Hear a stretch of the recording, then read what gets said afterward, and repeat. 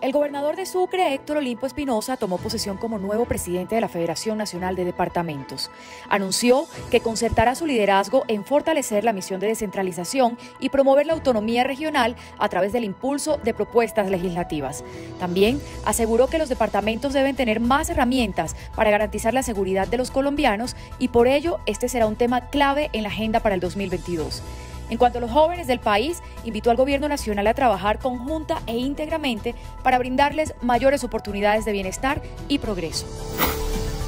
Durante la Asamblea de Gobernadores de la Federación Nacional de Departamentos, realizada en la Catedral de Sal de Zipaquirá, en Cundinamarca, los mandatarios regionales, además de elegir a su nuevo presidente, el gobernador de Sucre, Héctor Olimpo Espinosa, eligieron al gobernador del Chocó, Ariel Palacios, como vicepresidente y se conformó el nuevo Consejo Directivo de la Federación Nacional de Departamentos, integrado por los gobernadores de Casanare, Norte de Santander, Caquetá, Risaralda y Amazonas, y como suplentes los gobernadores de Arauca, Huila, Boyacá, Quindío y Guainía.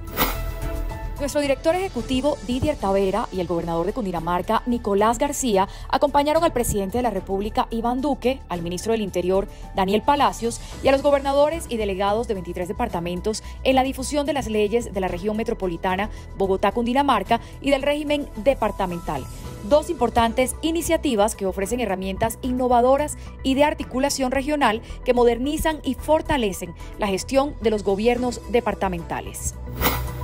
Esta semana, la primera dama de la Nación, María Juliana Ruiz, la Consejería para la Niñez y la Adolescencia, el ministro de las TIC y la Federación Nacional de Departamentos celebraron en grande la clausura del concurso Luces Cámara Región. Los ganadores nacionales fueron homenajeados en la Casa de Nariño. Durante el concurso recibieron premios como cámaras fotográficas, audífonos profesionales y un curso para reforzar sus conocimientos en producción. La embajadora social de la Federación Nacional de Departamentos, Priscila Santos, destacó el maravilloso trabajo que realizan los adolescentes al mostrar a través de videos lo mejor que tienen sus regiones y de esta manera aportar al progreso y desarrollo de las mismas.